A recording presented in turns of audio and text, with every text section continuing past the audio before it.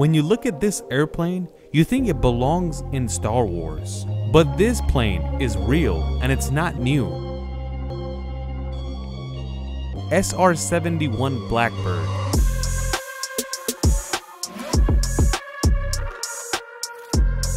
This was born in 1964.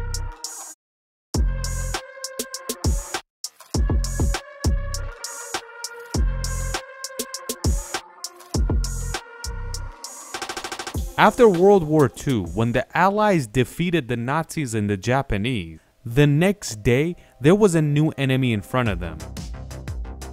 The Soviet Union and the Cold War just started.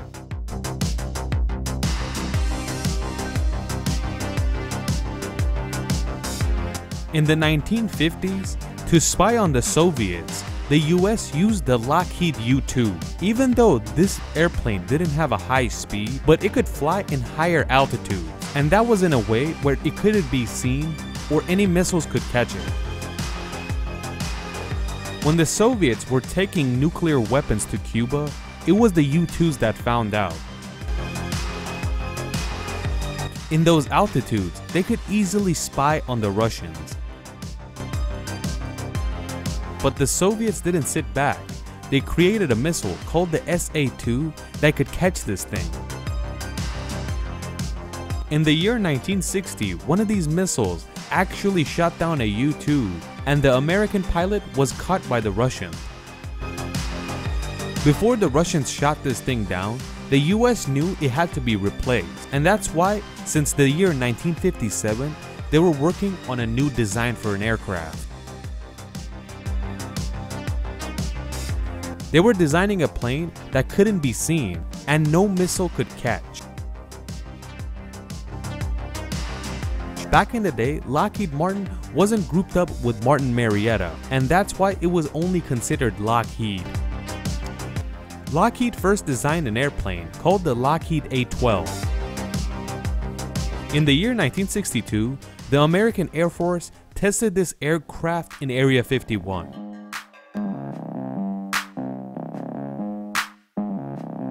After the test passed, Lockheed built 15 of these bad boys. This plane was used in the Korean War, Vietnam War, and it was also used to spy on the Soviets. But it was a plane that caused a lot of accidents because in a short time, 6 of these 15 aircrafts were crashed. When information came to Lockheed that these things are crashing left and right, they decided to build something better. They were successful because in two years, they got rid of the A-12 and retired it, and SR-71 Blackbird was born.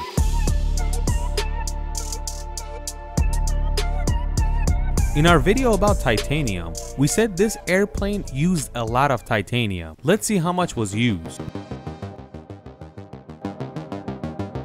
92% of this airplane is made from titanium. This is the fastest aircraft in the world.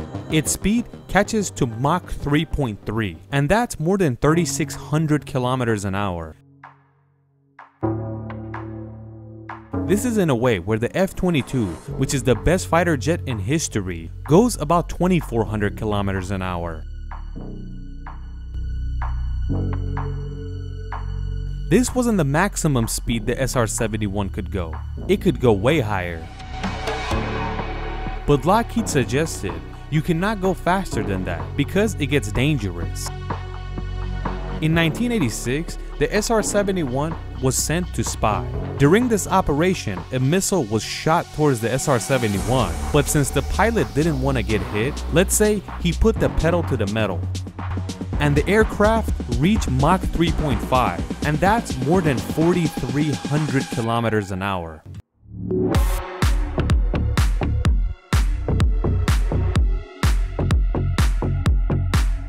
There's a lot of airplanes that could go Mach 3, but they can't do that for a very long time.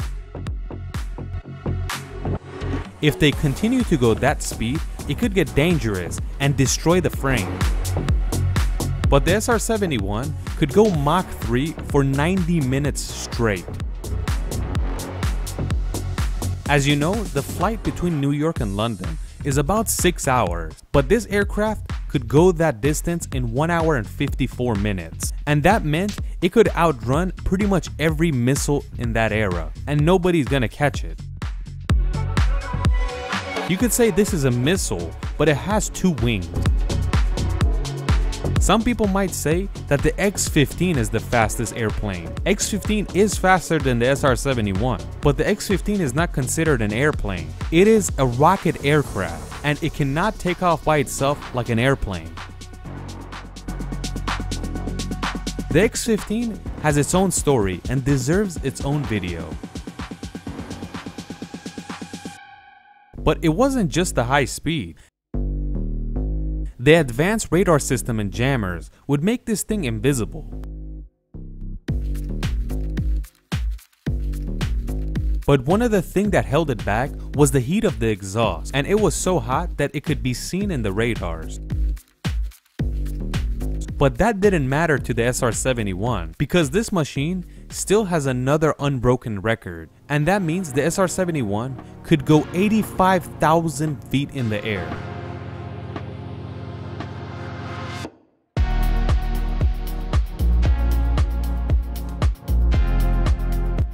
Even though this aircraft was ready in 1964, but it took 4 years of testing, then it entered service. Because you could say in the 4 years, they were torture testing it.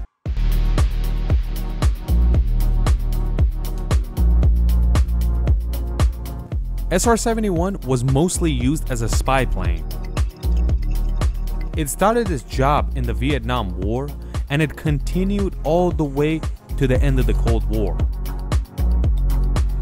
It's good to know that in the Vietnam War, 800 missiles were shot at the SR-71, but not a single one was hit.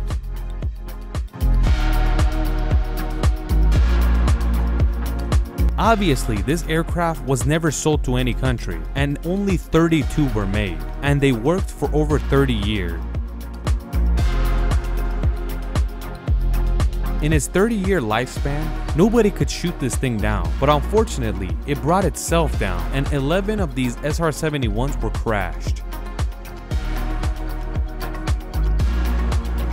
Even though it was a very useful aircraft, but it was expensive to operate. When one of these flew, it meant it's costing $100,000 an hour. You might not believe it, but after each flight, a lot of parts had to be swapped to fly again. Another cool thing about this aircraft is that it used so much fuel to take off that it needed a refuel when it got into the air, and that was to continue the mission.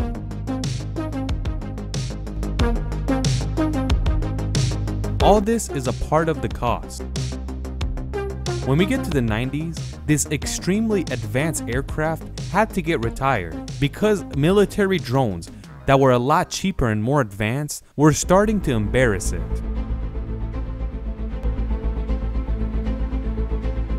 NASA also used two of these aircrafts, and that was mostly for test pilots. As you know, a lot of astronauts in NASA used to be test pilots before they came into the astronaut department, and an astronaut should be able to handle an aircraft like this. NASA retired their two aircrafts one year after the Air Force.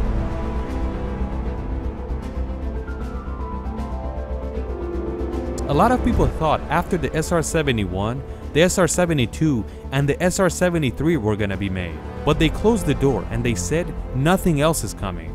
The thing that's coming are drones. You could say drones are eliminating all the other aircrafts because they're useful in every other way. After this, the most powerful air forces had to have a good drone technology.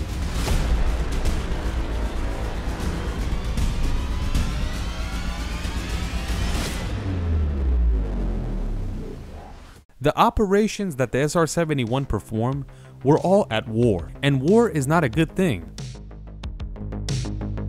But the engineering and building this aircraft is extremely interesting to talk about.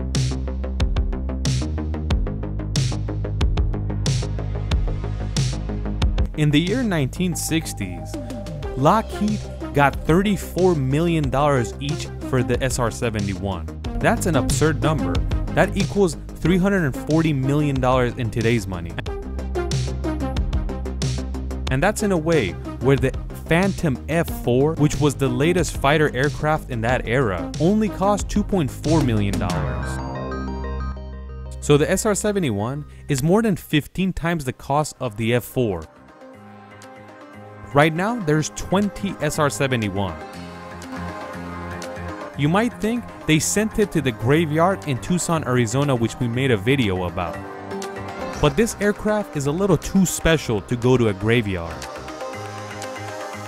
All the SR-71s that survived, plus the A-12s, are found in museums across America, and anybody can go and see them.